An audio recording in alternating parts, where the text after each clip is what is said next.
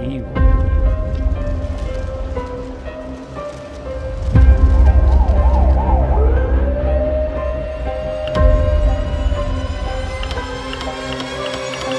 it's like a slippery slope.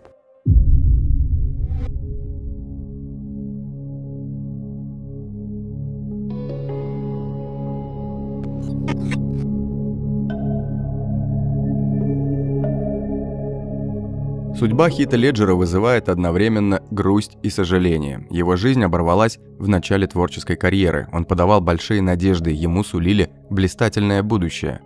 Молодой, обаятельный, мужественный, но при этом непредсказуемый как ребенок, он легко перевоплощался в самых разных персонажей, демонстрируя многогранность своего таланта и актерского мастерства.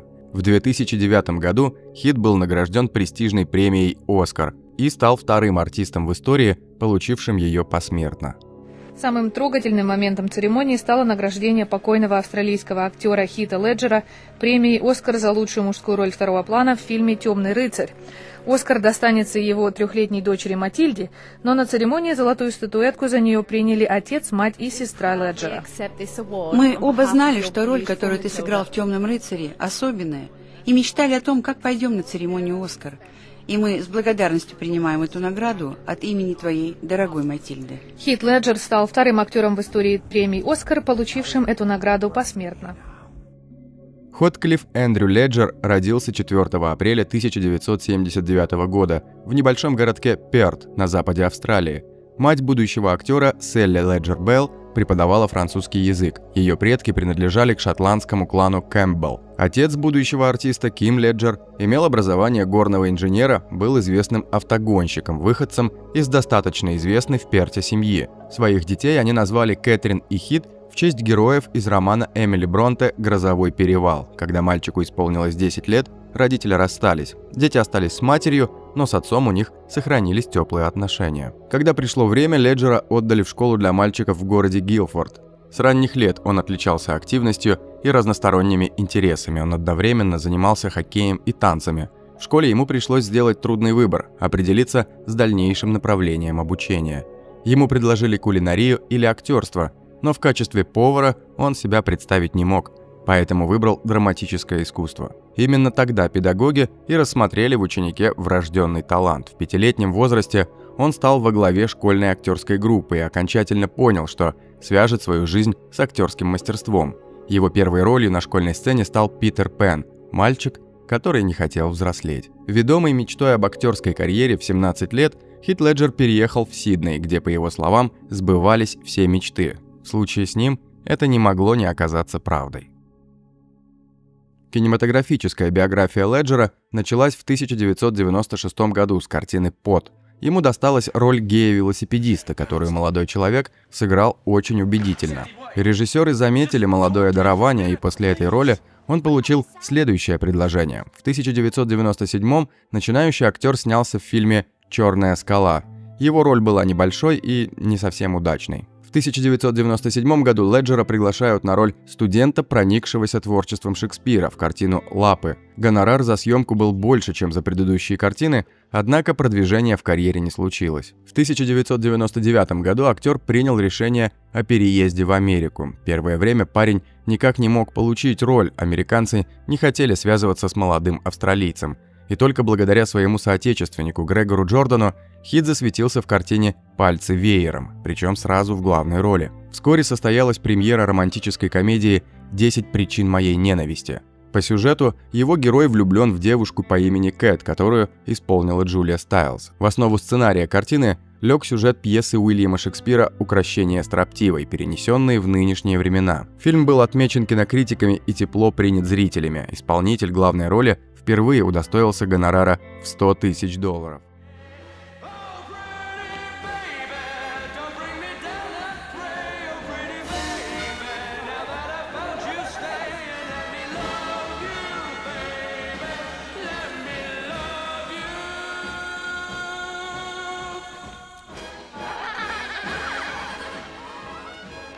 В молодости, после нескольких лирических мелодрам, за хитом Леджером прочно закрепился титул «Кумира подростков».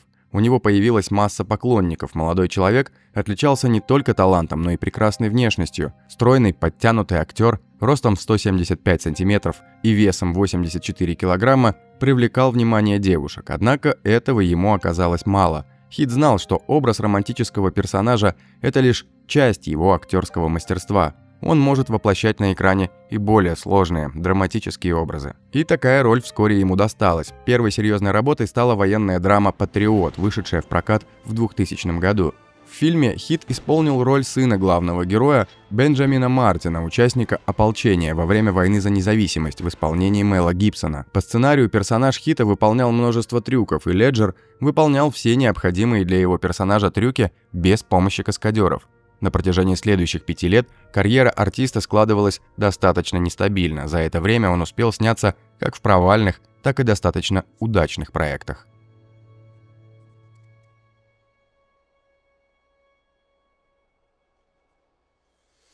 В 2001 году артист воплотил на экране романтический образ в приключенческой мелодраме «История рыцаря». Фильм занял второе место по кассовым сборам после первого уикенда. Спустя год состоялась премьера драмы «Бал монстров», в которой австралиец предстал в образе сына палача. Юноша противился желанию отца продолжить династию, в результате чего свел счеты с жизнью.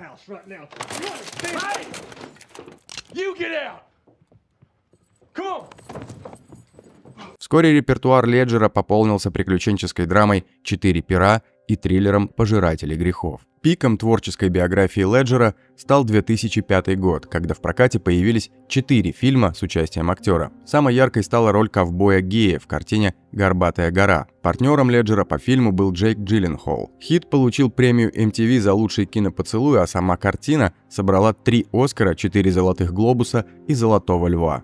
В 2005 году успешно прошла премьера комедии «Казанова», в которой Хит Леджер исполнил главную роль. Фильм не получил взрослый рейтинг, зрители ждали постельных сцен, но картина о Лавеласе обошлась без эротики и обнаженной натуры. В этом же году Леджер сыграл якобы Грима в мрачной фэнтези «Братья Грим». Фильм взял за основу классические сказки из сборника литераторов, показав их темную сторону, а самих братьев выставив мошенниками и охотниками за нечистью. В 2005 году Леджер получает роль Джокера в фильме «Темный рыцарь» режиссера Кристофера Нолана. Эта роль стала его самой известной и яркой работой, таковой она является и до сих пор. Актер по-своему трактовал образ классического злодея.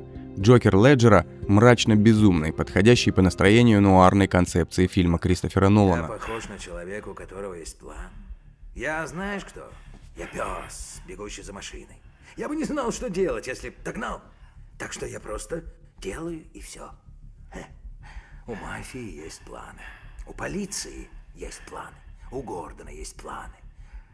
Они планировщики. Планировщики пытаются контролировать свои тесные мирки. Я не планировщик.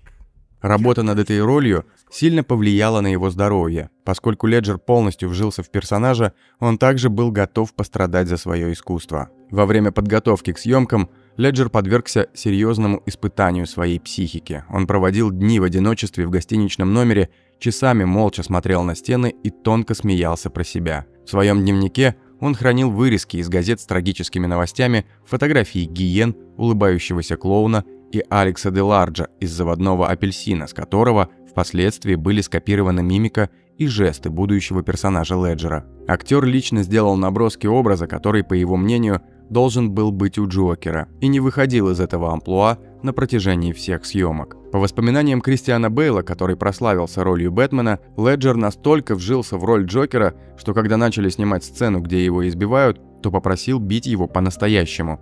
Он меня как бы подстрекал, я говорил, знаешь что, мне не нужно тебя бить. Если я этого не сделаю, это будет выглядеть так же хорошо. На что он сказал, продолжай. Он кувыркался. Внутри этой декорации были кафельные стены, которые потрескались и повредились из-за того, что он бросался на них, говорил Бейл. Позже критики сказали, что именно Леджер во время съемок придумал оригинальные актерские находки и прекрасно воплотил их на экране. Фильм занял четвертое место в рейтинге IMDb, а Хит Леджер уже посмертно получил премию «Оскар» за роль второго плана. Актер также удостоился премии «Бафта», премии гильдии киноактеров и «Золотого глобуса» в этой же номинации. И также посмертно. Образ Джокера в исполнении Леджера оказался на шестом месте в списке 100 величайших киногероев, который опубликовал британский журнал Empire. Хотя многие поклонники комиксов считают, что Хит лучше всех воплотил на экране этого злодея. В 2006-м фильмография Леджера пополнилась картиной «Кэнди», которая отмечена призами на международных кинофестивалях. В творческой деятельности Леджера были и другие заметные работы. В 2007 году он получил роль персонажа Робби, которая символизировала собой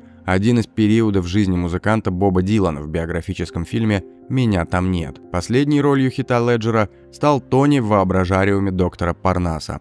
Актер умер, в то время как съемки продолжались. Перед режиссерами встала нетривиальная задача. Дело в том, что Леджер успел сняться только в части видео, и этого было ничтожно мало, чтобы использовать в картине. Дальнейшая работа над фильмом вызвала технические и этические вопросы. В итоге было принято изящное решение. По сюжету Тони проходит через магическое зеркало доктора Парнаса, которое показывает внутреннюю сущность человека. Этим объяснилось изменение внешности героя. После волшебного преображения роль Тони играли три актера – Джуд Лоу, Джонни Депп и Колин Фаррелл. Позднее все они перечислили гонорар на счет единственного ребенка, ушедшего из жизни коллеги, дочери Леджера Матильды. Деньги девушка получит в день своего 18-летия, как и статуэтку «Оскар», которая была присвоена ее отцу посмертно за роль Джокера. У Хита Леджера была бурная личная жизнь, о многочисленных романах актера не говорил разве что ленивый. В 1997 году Парень познакомился с Лизой Зейн, но вскоре расстался с ней. В 2000-м у него был роман с Хизер Грэм. Более-менее продолжительные отношения были у Хита с актрисой Наоми Уотс. Актеры познакомились на съемочной площадке «Банды Келли» в 2002-м. Роман длился два года. Она полюбила его с первого взгляда за талант и странное сочетание мужественности и детскости. В его глазах было нечто такое, что привлекало многих женщин. Он сочетал в себе силу и детскую наивность. Его сила не пугала, она интриговала, а его слабость была трогательна, говорила Уотс о нем уже после его смерти. Этот роман широко освещали в Голливуде. Влюбленная Наоми заявляла, что хочет родить ребенка, но Хит не торопился брать на себя обязательства. В течение двух лет они несколько раз расходились и вновь сходились. Наоми – любовь всей моей жизни, клялся Хит, но при этом с удовольствием поглядывал по сторонам, его часто видели с другими девушками. Любовь всей его жизни, наверное, тоже будет блондинкой, но я уверена, что ей точно будет на 10 лет меньше, чем мне, устало заметила Наоми, когда они наконец расстались окончательно. Наоми была старше Хита на 11 лет. Лето 2004 года перевернуло жизнь Хита Леджера. На съемках «Горбатой горы» Леджер безумно влюбился в свою экранную жену, актрису Мишель Уильямс. Его партнер Джейк Джилленхол вспоминал, «Я помню репетиции. Эти двое буквально пожирали друг друга глазами, аж искры летели. На этот раз девушка была младше его на год. Она мой единственный друг, и невозможно любить друг друга больше, чем мы. Мы как две горошины в стручке», – с восторгом говорил Хит. Брак Хита Леджера и Мишель Уильямс был на виду у всех, но за кулисами этой счастливой семейной жизни таились некоторые секреты. Леджер и Уильямс поженились в 2005 году и вместе воспитывали свою дочь Матильду, которая родилась 28 октября 2005 года. На публике они казались идеальной парой, но не все знали о том, что происходило на самом деле. Они оба были молоды и находились в разных фазах своей карьеры, что порождало конфликты и напряженность в отношениях. Было известно, что оба партнера были талантливыми и амбициозными, поэтому они постоянно боролись за свое место в кинематографе. Это приводило к страстным спорам, которые не всегда были в поле зрения общественности. Мишель столкнулась с собственными сложностями материнства, а Хит стремился к новым высотам в своей карьере. Пара жила в гражданском браке три года, а в сентябре 2007-го влюбленные расстались. За кулисами светской жизни актер погружался в глубокие эмоциональные проблемы. В поисках новых ролей Хит начал экспериментировать с наркотиками, что только усугубило его сложную психическую составляющую. Актер страдал от бессонницы, депрессии и агрессии. Хит и Мишель расстались показательно тихо и мирно. По словам Леджера, им удалось остаться друзьями, в том числе ради общей дочери. Позднее актер все же приоткрыл завесу тайны и заявил, что в размолвке был виноват его слишком плотный график. Однако в прессе существовала совсем другая версия, в которую многие до сих пор верят. Хит якобы пристрастился к запрещенным веществам и даже опасался, что Мишель может лишить его права равной опеки над дочкой. Все сразу понимали, что он особенный, когда встречали его, и как человек, и как актер, говорил продюсер, работавший с ним над «Горбатой горой». Буквально все любили его. Отчасти это была его храбрость, когда он признавался в плохом самочувствии. Леджер не скрывал своей бессонницы и стресса, во время перерывов в съемках фильма 2008 года «Воображариум» доктора Парнаса он летал туда и обратно в Нью-Йорк, менял часовые пояса, скучал по дочери, включал свой привычный творческий гипердвигатель и бродил по городу до рассвета. Также известно, что актер находился тогда в ужасном состоянии и даже заболел пневмонией. Перед своей смертью он разговаривал с сестрой по телефону, та умоляла его прекратить бесконтрольное употребление большого количества лекарств. Однако Хит заверял ее, что все контролирует. В ночь перед смертью он мог страдать от любой из форм депрессии, тревоги, бессонницы, пневмонии, наркомании или от отмены наркотиков. Единственное, в чем можно быть уверенным, так это в том, что делал он это в одиночку. Труп артиста обнаружила домработница, которая, как всегда, пришла с утра на работу. Это случилось 22 января 2008 года в его собственной квартире на Манхэттене. Хит лежал на кровати, полностью обнаженным. Недалеко от него нашли пустую упаковку от снотворного. Гибель звезды Голливуда с каждым днем становилась все более загадочной. После вскрытия медики Нью-Йорка не смогли сразу определить причину смерти актера и требовали дополнительного срока – 10 дней для проведения тщательных экспертиз. Или для того, чтобы замести следы убийства. Подобными заголовками пестрили газеты. Такая версия активно обсуждалась читателями газеты National Enquirer, самого авторитетного на тот момент таблоида США. Точная причина смерти выяснилась только после токсикологической экспертизы. 6 февраля, всего за три дня до того, как тело Леджера должно было быть кремировано, офис главного судмедэксперта Нью-Йорка выступил с предполагаемым эпилогом к этой истории. Медики вынесли вердикт. Причиной смерти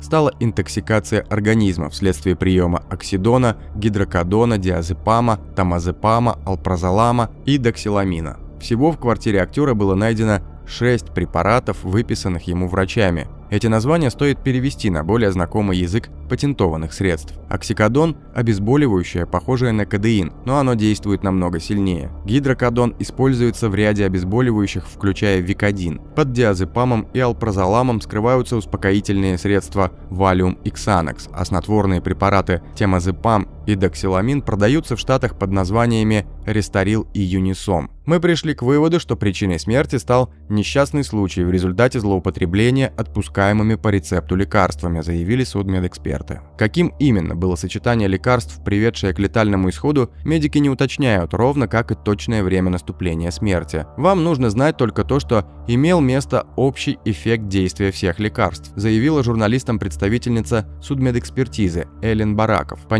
неофициальным данным, власти собираются провести расследование, чтобы понять, каким образом Леджеру были одновременно выписаны все эти сильнодействующие препараты. Надо добавить, что многие вопросы неравнодушной публики, не желающей мириться со столь внезапной и нелепой смертью, так и остались без ответа. Мистическая связь смерти Хита Леджера с его ролями стала предметом дебатов и спекуляций. Некоторые считали, что интенсивные творческие процессы и эмоциональная глубина, которую актер привносил в своих персонажей, оказали сильное воздействие на его психическое состояние. Смерть Леджера потрясла мир киноиндустрии и его поклонников. Многие винили роль Джокера в его смерти. Этот темный персонаж, которому Хит посвятил себя, якобы довел актера до безумия.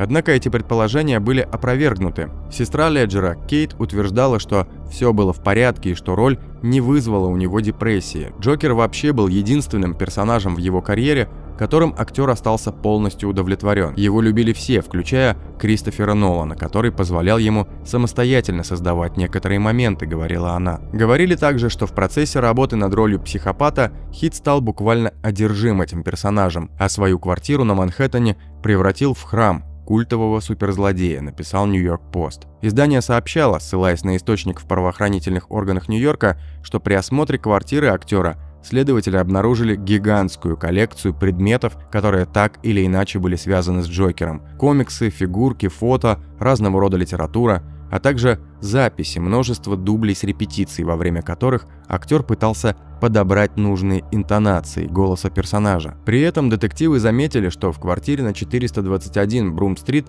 была безукоризненная чистота, и все, что касалось Джокера, аккуратно разложено. Он был перфекционистом, явно испытывал большое уважение к своему персонажу и придавал всему этому большое значение, комментировал собеседник издания. Всего за два месяца до смерти Хита Леджера в 2008 году в прессе появились слухи о его романтических отношениях с австралийской моделью Джеммой Уорд. Однако Леджер скрывал от публики еще одну возлюбленную, и причины этого до сих пор остаются загадкой. Когда звезда «Темного рыцаря» умер в возрасте 28 лет, выяснилось, что он был и любовником Мэри Кейт Олсон. В последние несколько месяцев они встречались регулярно, но в серьезных отношениях оба были не заинтересованы. По слухам, пару сближала любовь к вечеринкам. Учитывая обстоятельства смерти актера, Мэри Кейт даже заподозрили в том, что именно она снабжала Хита запрещенными веществами. Однако она всегда отрицала любые обвинения. События, связанные со смертью Хита Леджера, были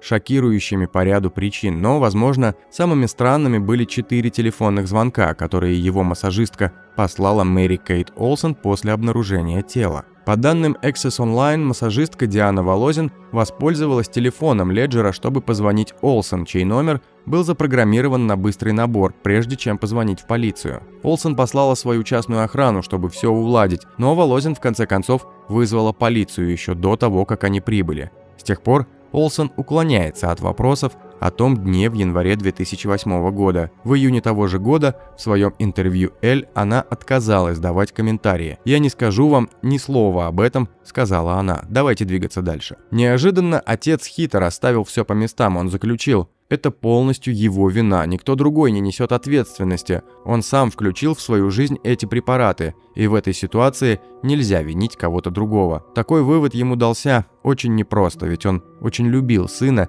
и гордился им, несмотря ни на что. Некоторые все же считали, что смерть Леджера не так однозначна, как полиция пыталась доказать. По одной из версий, Хит сознательно проглотил кучу таблеток, совершив тем самым самоубийство – Однако отец Хита категорически отрицал вероятность суицида. У Леджера не было ни одной причины стремиться уйти из жизни, ведь на следующее утро у актера была назначена встреча с самим Стивеном Спилбергом, на съемки к которому он давно мечтал попасть. К тому же карьера Хита стремительно набирала обороты, материальных проблем у него тоже не было, и вдобавок, по словам отца, Хит души не чаял в своей дочке Матильде. Близкий друг Хита, режиссер Шекхар Капур, разговаривал с ним по телефону всего за несколько часов до этого чудовищного происшествия. Мы договорились, что утром я разбужу его звонком. Я пытался, но ничего не вышло.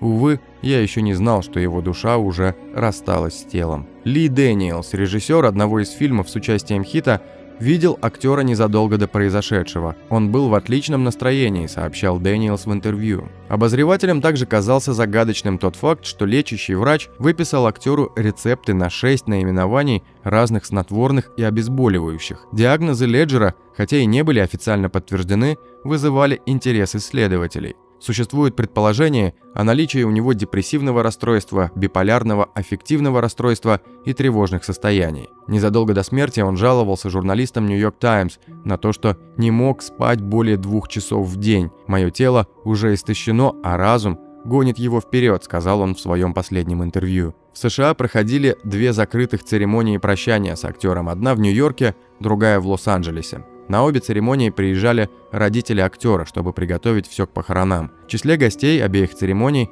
была бывшая жена Леджера, Мишель Уильямс, и их двухлетняя дочка Матильда. Из-за смерти актера, действующий на тот момент президент США Джордж Буш даже отменил выступление, которое намеревался посвятить злоупотреблению лекарствами, отпускаемыми по рецепту. Как объяснила пресс-секретарь Белого дома, Буш должен был сделать заявление в связи с началом демонстрации по телевидению социальной рекламы, подготовленной Управлением по национальной политике борьбы с наркотиками. Однако после известия о том, что Леджер мог умереть из-за передозировки лекарственных или наркотических средств, мероприятие решили перенести на некоторое время. Мы пришли к выводу, что будет лучше перенести выступление и не рисковать, чтобы никто не подумал, что мы воспользовались конъюнктурой, желая привлечь внимание к проблеме, сообщала пресс-секретарь. Когда в 2018 году исполнилось 10 лет со дня гибели знаменитого актера, Мишель Уильямс обручилась с финансовым консультантом Эдрю Юмансом. Сейчас звезда воспитывает их 15-летнюю дочь Матильду, с которой, если верить источникам, Эндрю уже успел найти общий язык. 23 апреля 2017 года на экраны зарубежных кинотеатров вышла новая документальная лента «Я Хит Леджер», которая практически полностью состоит из архивных съемок, сделанных самим Леджером. В ленте рассказывается о том, что знаменитый артист очень сильно любил жизнь. В связи с этим многие журналисты раскритиковали картину, которая, по их мнению, показывает Хита Леджера однобоко и не раскрывают тему его депрессии. Так, например, обозреватель популярного издания «Варьете» Оуэн Глейберман заявил, что многие внутренние демоны актера остались за кадром. Обозреватель отмечает, что куски пазла не складываются. Он также добавил, что создатели фильма должны были затронуть тему наркомании Леджера, если тот действительно принимал запрещенные вещества. В создании ленты принимали участие родственники и коллеги Хита Леджера, в том числе сестра актера Кейт. В ходе беседы с корреспондентами женщина ответила на критику со стороны общественности. Кейт не верит, что ее близкий человек планировал самоубийство. По ее словам, брат был очень позитивным и мечтал сняться в следующем фильме режиссера Кристофера Нолана. Более того, буквально за день до предполагаемого самоубийства Хит Леджер разговаривал с сестрой Кейт и не был чем-то расстроен или обеспокоен. Наоборот, артист был полон сил и энергии. Он был действительно очень счастливым человеком с большими планами на будущее. Я разговаривала с ним за сутки до его смерти, мы смеялись и шутили. Он так гордился своей ролью в «Бэтмене», и я знаю, что он очень хотел сняться в другой картине, посвященной этому супергерою. Он был в восторге от совместной работы с Кристофером Ноланом, Кристианом Бейлом и Гэри Олдманом. Когда он приезжал домой на Рождество, он с большим энтузиазмом рассказывал нам обо всем этом, рассказывала Кейт. Как говорили родственники актера, к ним поступало множество предложений принять участие в работе над фильмом о его жизни. Но близкие Хита Леджера отвергали их – даже обращение создателей новой на тот момент документальной картины они рассмотрели далеко не сразу. Однако теперь все готово, и мы очень счастливы, не скрывала своих эмоций Кейт Леджер. Тело усопшего артиста отправили в родную Австралию. 9 февраля 2008 года оно было кремировано и урну с прахом похоронили на кладбище родного Перта. В 2014 правительство Австралии учредило стипендию имени Леджера. Ее сумма равна 20 тысячам долларов, а также это возможность получить актерское образование в Лос-Анджелесе. Участвовать в розыгрыше гранта могут все актеры-австралийцы. Карьера артиста развивалась стремительно, ему приходилось много работать, иногда без сна и отдыха. Случалось, что он спал всего по два часа в сутки. Леджер шутил, что тело выдыхается, тогда как мозг никак не хотел отключаться и отдыхать. Чтобы побороть усталость, Хит горстями пил таблетки, но вполне вероятно, что актер действительно решил свести счеты с жизнью. Прошло 15 лет со смерти актера, но Хита Леджера до сих пор вспоминают его поклонники, просматривая любимые киноленты с его талантливой игрой. Эта история напоминает о том, как важно заботиться о своем психологическом состоянии и своевременно обращаться к специалистам. Сегодня многое изменилось в киноиндустрии, безусловно, сейчас актерам предоставляется больше поддержки и помощи, но смерть Хита остается важным уроком о том, как важно беречь свое здоровье, даже на вершине славы. Дорогие подписчики и гости канала, как вы считаете, что является основной причиной гибели актера? Есть ли у вас любимые фильмы с его участием? Свои ответы оставляйте в комментариях.